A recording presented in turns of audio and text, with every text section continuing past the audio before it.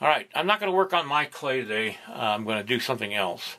Um, I uh, yesterday I got some new tools uh, from a company called KensTools.com, and these are just a few of them.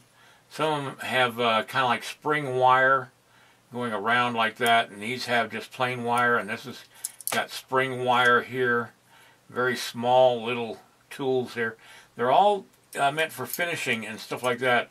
And as I mentioned yesterday, uh, Academy Award winning artists at, at uh, the uh, art departments of, of on some of the greatest movies made in the last 10 years um, have been using these tools. And so I'm going to uh, try to give these a fair play today and uh, use the proper stuff. And so what I'm going to do is I'm going to create an eye and a nose, you know, part of the nose. But uh, I just want to see what it does as far as wrinkles on the, the clay. And um, let me see. And this is from kenstools.com. I don't know if I hit the record button or not, but I must not have. I apologize for that.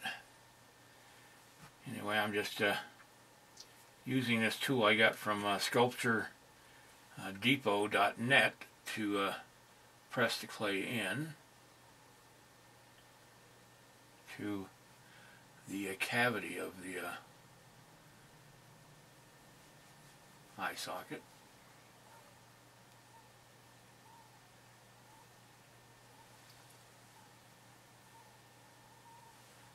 I'm just going to uh, put this eye lid on using the silicone tool that I got from sculpttools.com.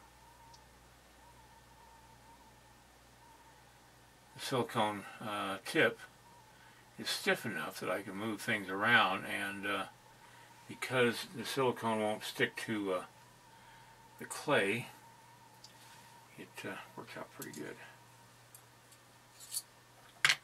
This wire coated tool, this is this got a, a kind of like a spring wire all the way around the uh, loop there. And I'm just going to use this and see how this works out because I've never used this before.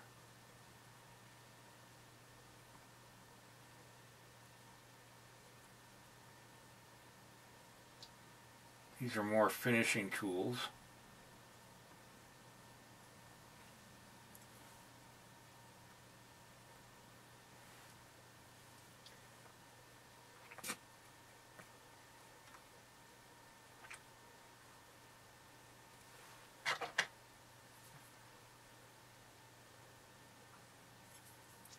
This one has a rake on it so I can dig away some of the clay and shape it.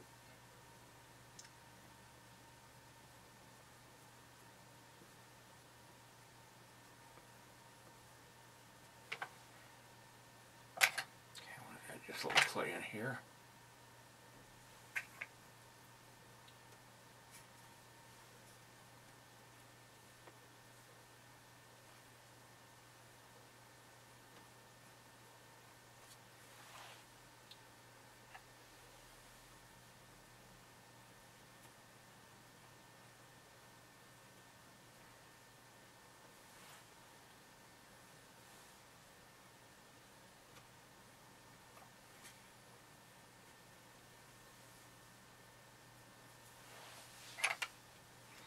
Okay, I'm going to take some of that cellophane and put it up here and over the clay. Now, I've never done this before, so if I make mistakes, it's uh, purely because I am an amateur at this now. Alright, now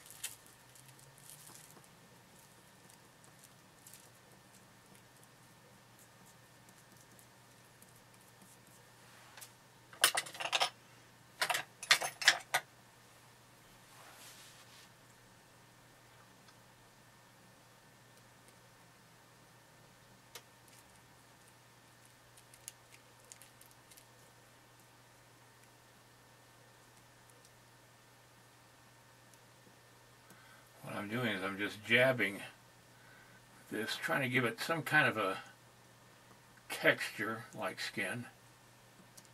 I don't know how this is going to look.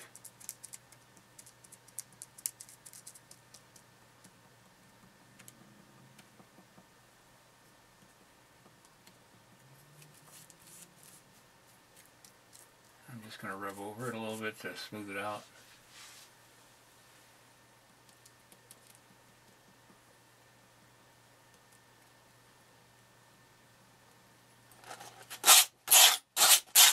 What I'm doing is I took this uh, wire uh, wrinkle maker or finishing tool and I cut down the, the wires a little bit because it was a little long. I wanted a little stiffer. And now I'm taking some sandpaper and just rounding out the edges as much as I can because these can be very sharp. That feels good now. And what I'm going to do is put this back up here. And uh, let's see how this works. Like I said, I'm just doing this for the first time, so not sure how this is going to look.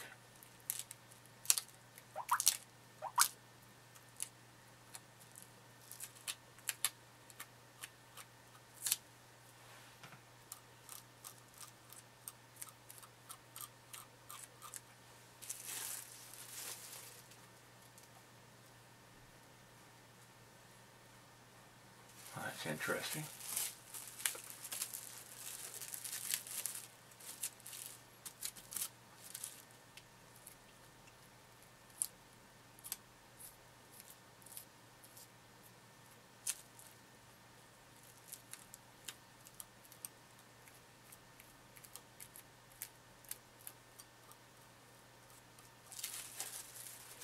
Oh, it makes a nice crosshatch uh, just like old skin.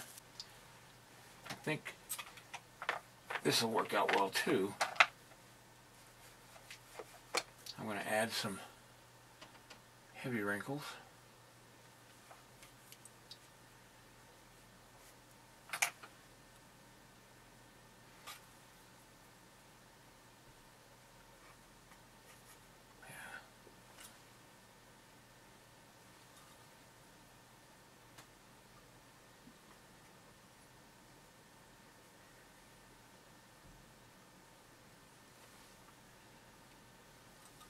I hope this is not too badly done. It is just a small part of the face, but uh,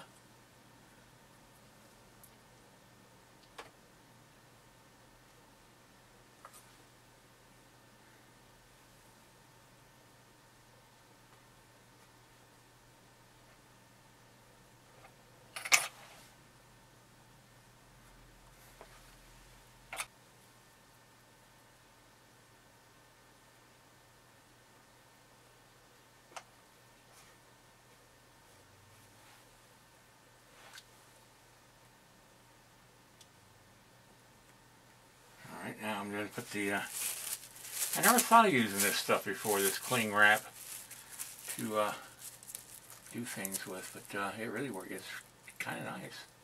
And I've just oiled my finger by rubbing it on my nose, and I'm just going over the cling wrap, and now I'm going to just go cross-hatching. Not overdoing it, just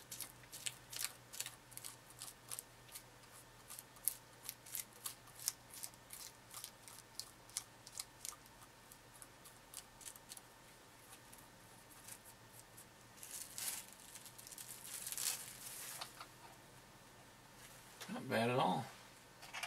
And I just go in with this just fill in the crevices.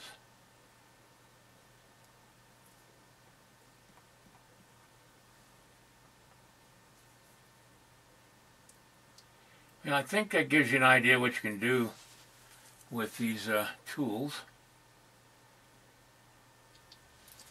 I'm just going to dig out the eyeball.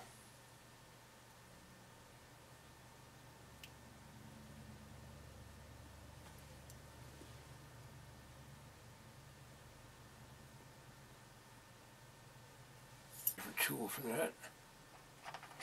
I'll stick it in there with this.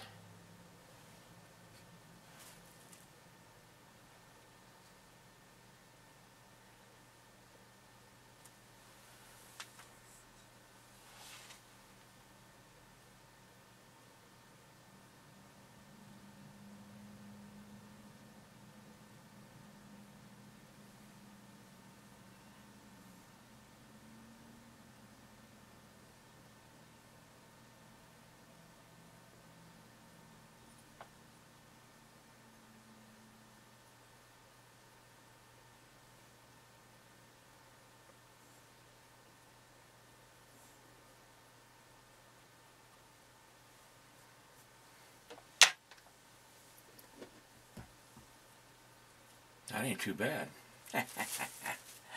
Even if I do say so myself. well, there you go. And uh, try it out for the first time. And uh, I'm not unhappy with it. I think, uh, you know, a little more practice on my part, and I will figure this all out really well. And I can see a lot of potential in uh, getting fine detail into a face uh, that you want to make. And, uh, you know, very small faces, this wouldn't work as well. But for larger faces, I think it's going to work out nice. All right, that's the video for today. Remember, uh, go to uh, Ken Tool, uh, kentools.com and check it out and see what you can find there. All right.